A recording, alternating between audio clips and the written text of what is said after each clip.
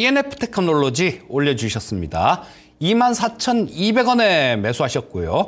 예, 굉장히 매수를 잘하신 것 같습니다.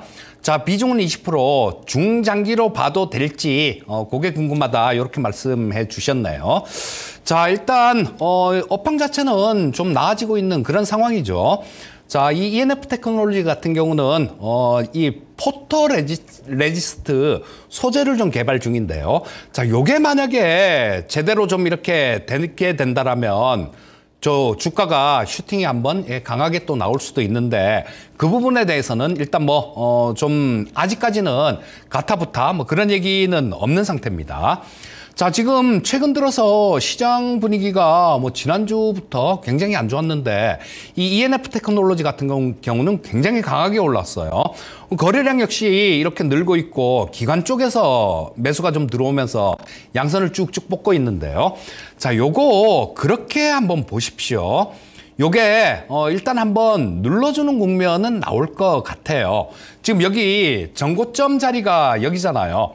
29,450원이 정고점입니다. 그리고 지금 뭐 28,150원이니까 내일 아침에 이 가격을 돌파해 준다라면요.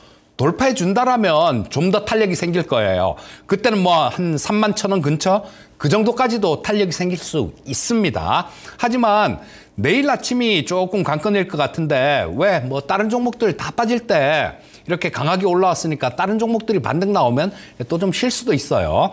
그렇기 때문에 내일 아침에 좀 보셨다가 29,450원이란 가격 이 가격을 돌파한다라면 그냥 다 들고 가세요. 근데 아침에 이 가격을 돌파하지 못하고 좀 민기적거리는 모습이 나온다. 그럼 비중이 20%잖아요. 그러니까 20% 중에 10%는 일단 정리를 하시고요. 그 10%는 만 여기서 조금 걸리는 모습이 나오면 2만 5천 원, 2만 6천 원 아래 구간에서도 다시 살 수 있는 기회가 있을 겁니다. 자, 요거는 내일 아침에 조금 보시면서 판단을 해야 될 것 같아요. 자, 그러면서 10%는 중장기적으로 이렇게 들고 가시고 한 10% 정도는 이렇게 어, 좀 올라가면 저 10, 절반 정도 줬다가 밑에서 다시 절반 정도 잡고 그런 trading 전략, 투트랙 전략이 좋을 것 같거든요. 자, 말씀드린 가격 조금 참고하셔갖고요. 10%는 예, 중장기로 들고 가고 나머지 10%는 기술적인 매매를 하십사 하는 얘기예요. 자, 말씀드린 가격 참고하셔갖고 잘 대응하시면 좋겠습니다. 네, 그다음 그 금옷